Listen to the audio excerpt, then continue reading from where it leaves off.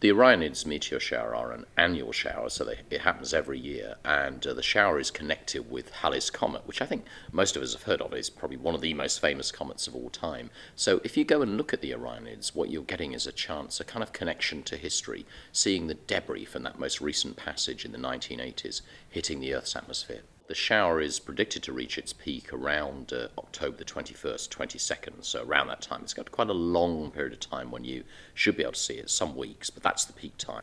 Well, if you go out, if conditions are good, if there's a reasonable number of meteors, and I have to say that's the kind of unknown quantity in all of this, you never quite know how many you're going to get, then you might see perhaps 20, 30 meteors over the course of an hour. It might be higher, it might be somewhat lower than that, but that's the kind of number to be looking at. The Orionids line colour meteor showers, the best way to view them is just to use your eyes. It's a nice astronomical phenomenon in the sense you don't need any special equipment at all.